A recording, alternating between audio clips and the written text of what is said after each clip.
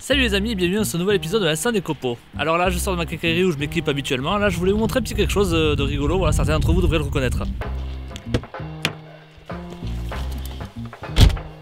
Damn Le temple de Thibaut in Shape. Ouais, du coup, je passe devant à chaque fois que je vais faire les courses pour l'atelier.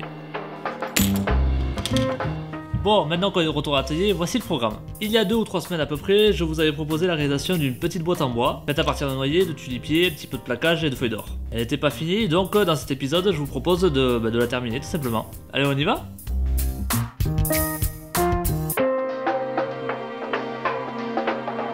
Il me reste une planche de tulipiers dans l'atelier. Je vais donc utiliser celle-ci pour pouvoir finaliser ma boîte.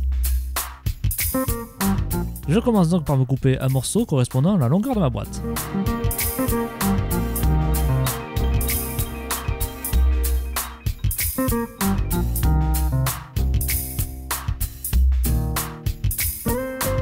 Je découpe ensuite mon morceau de bois à une largeur correspondant à la hauteur de la boîte, plus un petit extra.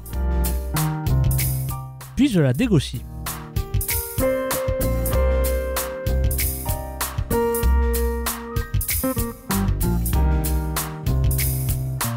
Enfin, je passe ma planche à la raboteuse.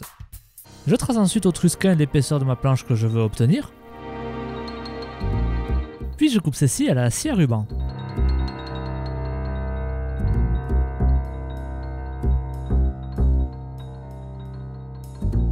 Je repasse ensuite mon bloc à nouveau dans la raboteuse pour refaire une planche, etc. Je renouvelle ainsi l'opération 4 fois pour obtenir 4 planches. Les planches ainsi obtenues sont tellement fines que je suis obligé de les coller au double face sur une planche de contrepaquet pour les passer à la raboteuse.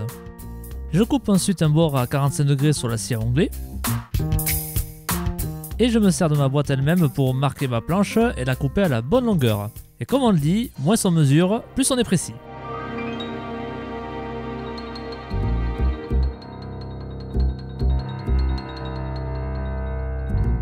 Je coupe ensuite mes planches à la bonne hauteur pour laisser un petit espace entre la boîte elle-même et le couvercle. Il ne me reste plus qu'à coller tout ça.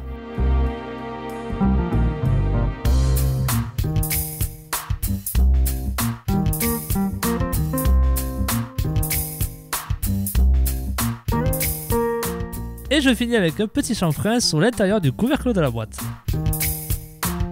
Voici donc cette boîte enfin terminée, alors je sais, il ne restait pas grand chose à faire, mais bon, fallait le faire. Mais vous en faites pas, je prépare du lourd pour la semaine prochaine, alors j'espère donc vous retrouver dans un prochain épisode de l'Instant des Copeaux.